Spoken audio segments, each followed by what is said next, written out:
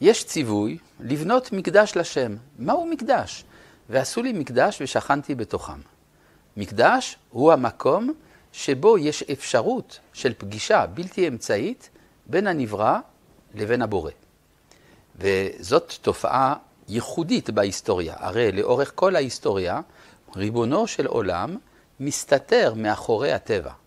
אבל יש מקום אחד שבו יש פריצה לתוך העולם התודעתי של האדם, זה המקום של המקדש. ועשו לי מקדש, ושכנתי, לא נאמר ושכנתי בתוכו, אלא ושכנתי בתוכם. ואיך הקדוש ברוך הוא שוכן בתוכנו? פשוט מאוד. הכתוב ממשיך, ככל אשר אני מראה אותך, את תבנית המשכן ואת תבנית כל כליו, וכן תעשו. יש לשים לב שבשפה העברית, בימינו, וככל אשר אני מראה אותך, פירוש הדבר שאני מראה אותך לאחרים. אמנם בלשון התורה, הביטוי מראה אותך, משמעותו גם מראה לך.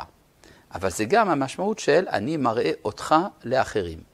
כלומר, משה מהווה דגם לחיקוי.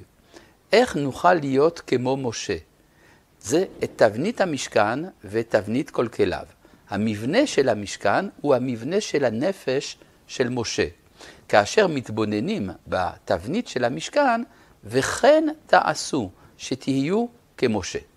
ומה יש במשכן? מה בעצם הנפש של משה היא? איך היא בנויה? יש קודש קודשים, יש היכל, יש חצר. בקודש הקודשים הקרובים, ומשם באה הנבואה לעולם.